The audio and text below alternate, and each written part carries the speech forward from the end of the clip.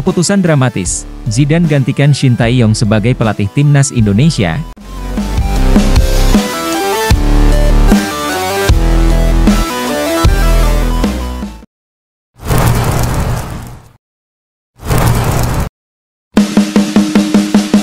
Federasi Sepak Bola Seluruh Indonesia, PSSI, mengumumkan keputusan mengejutkan dalam sebuah konferensi pers yang diadakan di markas besar PSSI. Ketua Umum PSSI, Erick Thohir, mengumumkan bahwa legenda sepak bola asal Prancis, Zinedine Zidane, telah dipilih untuk menggantikan Shin Tae-yong sebagai pelatih kepala timnas Indonesia. Keputusan ini diambil setelah berbagai pertimbangan atas performa kurang memuaskan yang ditunjukkan oleh timnas Indonesia di beberapa turnamen internasional terkini.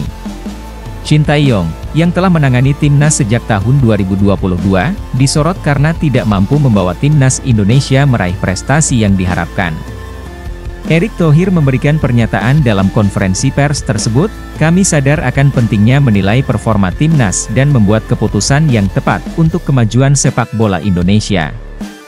Setelah pertimbangan yang matang, kami memutuskan untuk memberikan kesempatan kepada Zinedine Zidane sebagai pelatih kepala timnas Indonesia.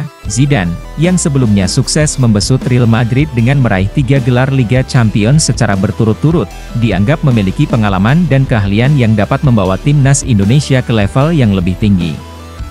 Keputusan untuk mengontrak Zidane ini juga diharapkan dapat memberikan dampak positif terhadap perkembangan sepak bola tanah air.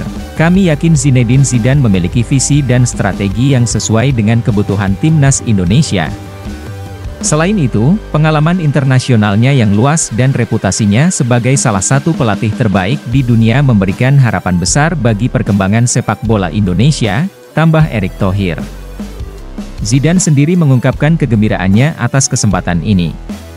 Saya sangat senang dan terhormat dapat bekerja dengan timnas Indonesia. Saya percaya dengan kerja keras bersama, kita dapat mencapai hasil yang membanggakan bagi negara ini, ujar Zidane dalam pernyataannya, meskipun keputusan ini menuai kontroversi di kalangan penggemar dan analis sepak bola Indonesia, banyak yang juga mendukung langkah PSSI untuk memberikan perubahan demi meningkatkan prestasi timnas. Semua mata kini tertuju pada Zinedine Zidane dan bagaimana ia akan membawa perubahan yang positif untuk sepak bola Indonesia.